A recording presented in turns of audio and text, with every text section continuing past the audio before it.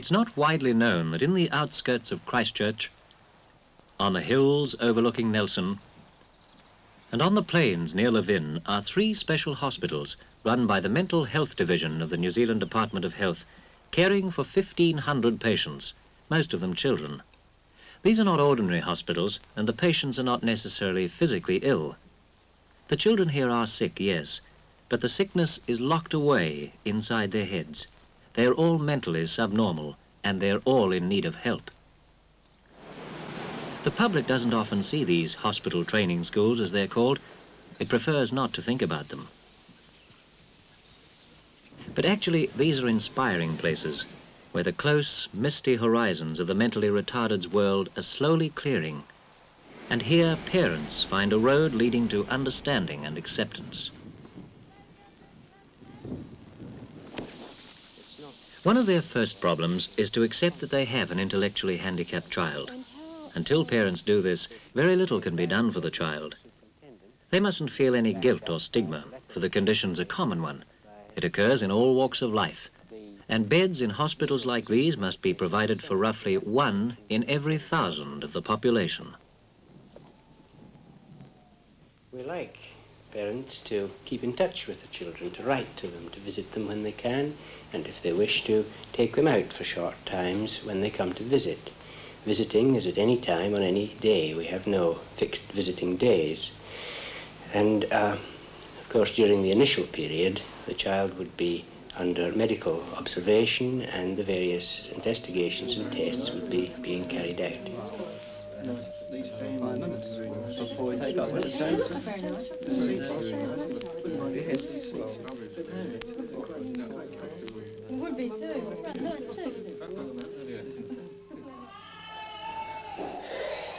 And so, one morning, Brian enters a new environment, a villa playroom where he's accepted and understood, and where at last something positive will be done to help him.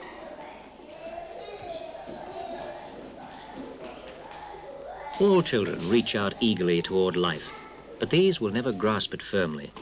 A retarded mind restricts them, narrows their world. But this narrow world can be widened, and they can be helped to live happily in it. The first step is to assess their potential, and nurses watch for signs which perhaps will indicate lines of training, and these assessments are discussed and re-examined at staff meetings each week.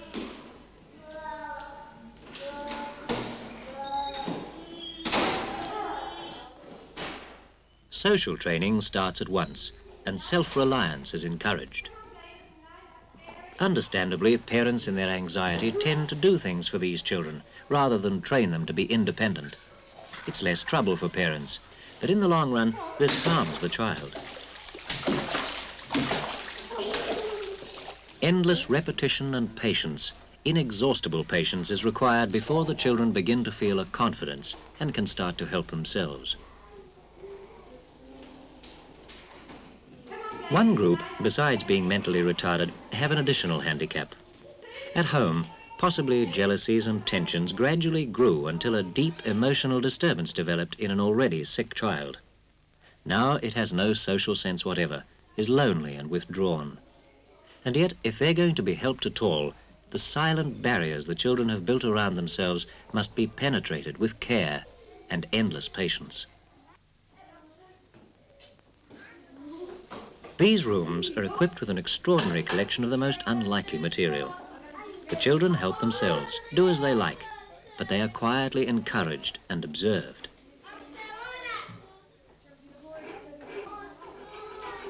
In this happy, relaxed atmosphere, a child's interest can be caught, but a wrong glance can send it trembling back into the vacant world behind dead eyes. They gain confidence and take tentative steps first into a make-believe world.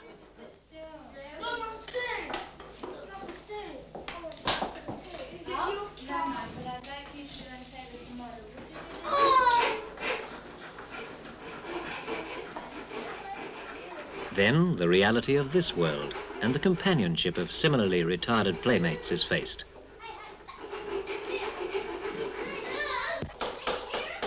In time, the walls of isolation crumble and the child is free. Some patients are severely subnormal and need the constant care of the nursing staff. Nevertheless, the hospital knows it must guard against the staff taking the place of a child's parents, for nurses grow very attached to their charges, who are here for long periods, often permanently.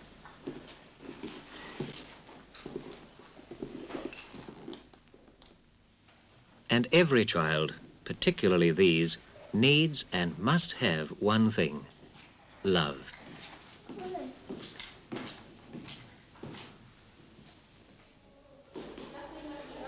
In the kindergartens, the formal training for most of the patients begins. We seldom think about our hands. They automatically carry out the commands flashed to them by our brains. But only by endless repetition and concentration can the simplest movement be learned by a hand only vaguely controlled by a mind forever wandering.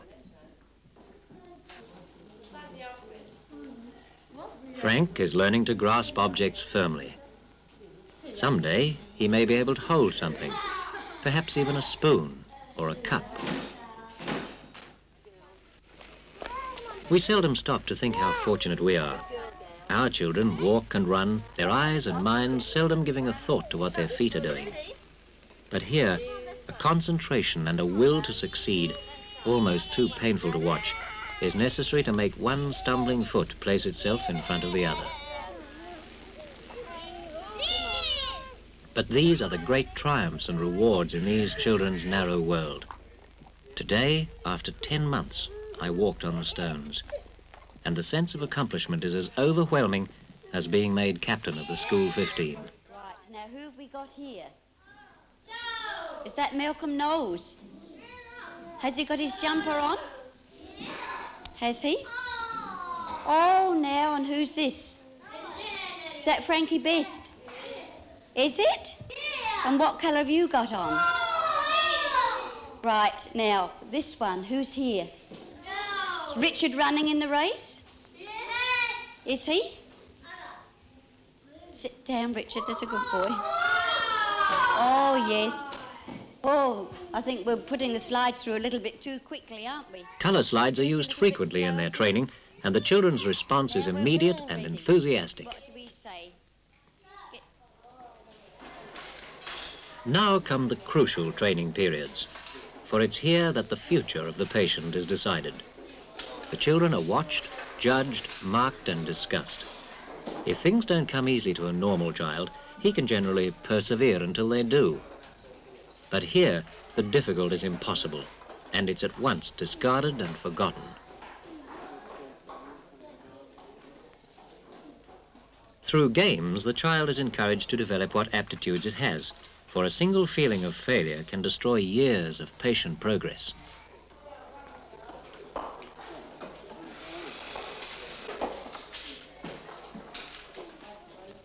As the months go by, two groups emerge. In the first are those who it's felt can be educated, and in the second, those who can be trained only. Academic learning of any kind will forever be beyond them. Advanced patients from both groups have short and frequent periods of occupational therapy, developing skills and mastering movements. The children love this, and it's sometimes difficult to keep them out of these happy, busy rooms.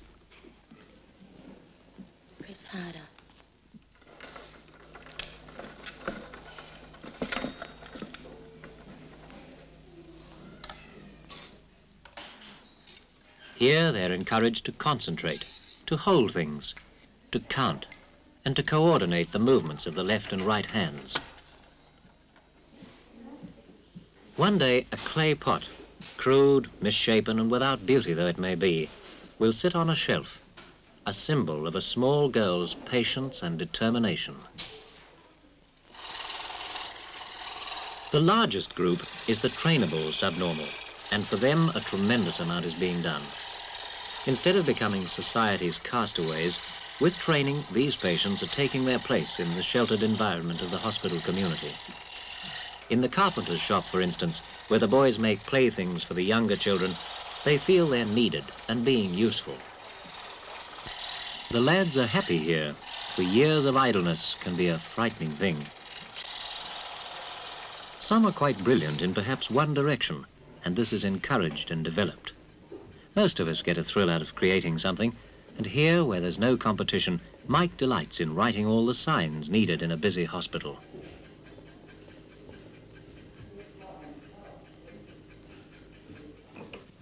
Henry, at 14, might be crouched in a corner, staring hopelessly into the future. After years of training, he moves like a sleepwalker, but he slowly and proudly makes all the coat hangers used here and in other hospitals.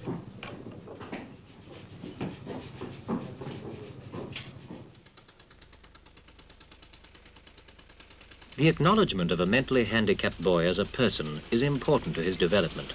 And once he realizes that he is wanted and not useless, that what he does is important, the years ahead are easier to live.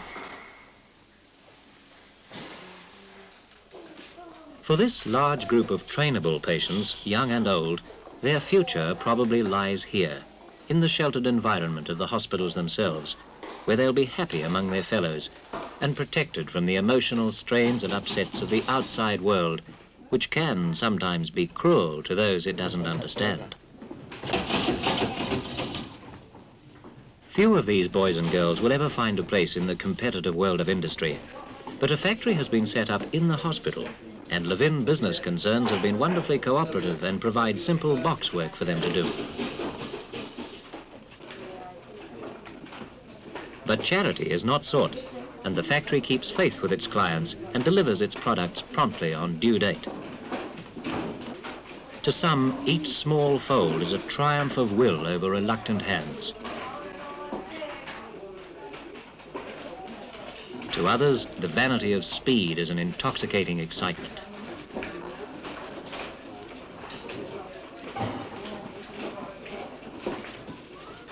The children enjoy expressing themselves, making things.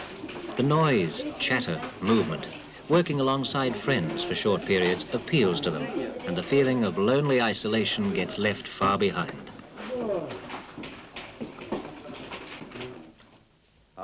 Under one patient in every 10 is in the second group, those that are educable. And the children have formal training in special schools that the Department of Education has set up within the hospital itself. And put it on the map in the right place. The cost of it will be sixpence. And when you find the one I ask you for, I want you to hold it up. Now, I want you to count out the number of pennies you would need to buy that card. Now, count them out in a nice, loud voice. One, two, three, four, five, six. Six. Six what? Pence. Six Pennies. pence. Very good. When you're walking along the road down in Wellington, you sometimes see these notices on the road, uh, along the, uh, on the road. What, what's this one, Roy? Do you know it? You had to stop and let the cars go past. Got to stop and wait, look the cars. That's very good. What do you think it means, Arthur? Stop. That's fine. That's very good. You know what that means. When you're at that job. These boys and girls must be prepared by their teachers for many things misunderstanding, impatience, rebuffs, teasing. One day you may be late for work in the morning. I'd say that I lost my bus. Yes. What would you say, Cameron, if you were late for work? Say my alarm clock didn't ring up. I think the boss. In the hospital community, everything's done to make life as normal as possible. The patient's interests and hobbies, in fact, are wider and more varied than many children's.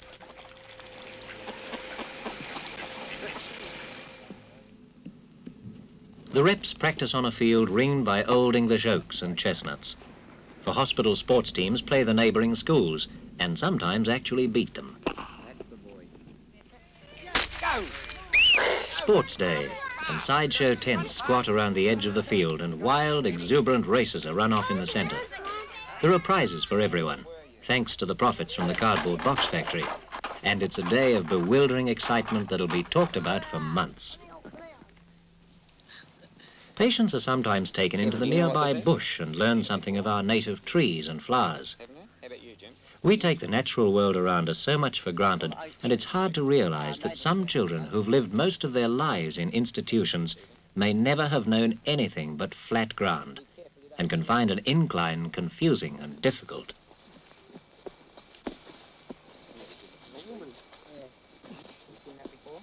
Imagine what sleeping out in a tent means to these boys, or waking up to the sound of a river and the early song of birds. Those who can go to an annual camp and are encouraged to do as much for themselves as possible. This strange, unfamiliar world can be a little frightening, but as the strangeness fades with the sunny days, life is full of new experiences and sensations. The hospital day doesn't end at sunset. After tea, hair's combed, shoes are polished, and a uniform proudly donned, and a shy, withdrawn boy becomes part of a group, feels he belongs, and responds.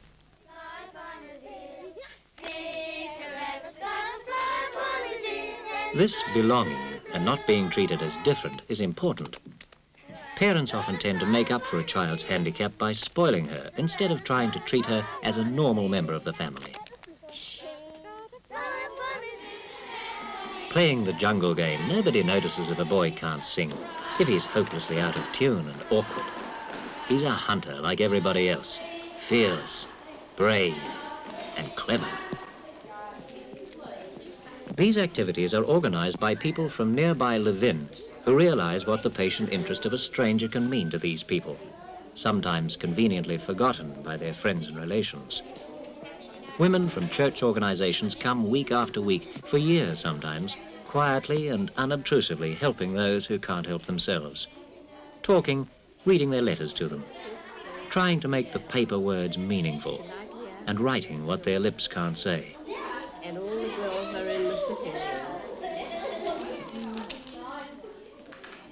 Men from the Levin Junior Chamber of Commerce, Rotary and Lions Clubs, and other groups come too. They willingly give up one evening out of every seven to spend time with these handicapped children, to talk and play and laugh with them, and make them feel their people.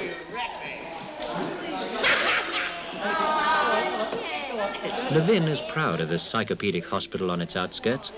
Most of the townspeople take a keen interest in the children and help them in many ways.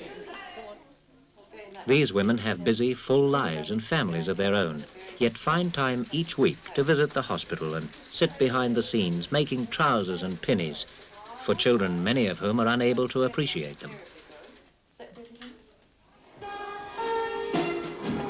Mental subnormality is no higher here than in other countries. Still, it strikes more than one in every thousand, and in any family, often without apparent reason or explanation. Not long ago, life for these people was difficult and often without hope, especially as they grew older and their parents died. Now they step forward together into a future where they are wanted, helped and cared for. The dark edges of these clouded minds are being pushed back, and the work and training programs of these hospital training schools which are attracting wide interest overseas, are now giving the mentally retarded a full life and a hopeful future.